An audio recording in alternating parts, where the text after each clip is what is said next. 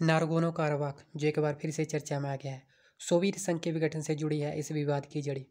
उन्नीस सौ इक्यानवे में सोवियत संघ के विघटन से आर्मेनिया और अजरबैजान स्वतंत्र हो गए, तथा नारगोनो के क्षेत्र के लोगों ने भी खुद को अजरबैजान से स्वतंत्र घोषित कर लिया और आर्मेनिया में शामिल हो गए।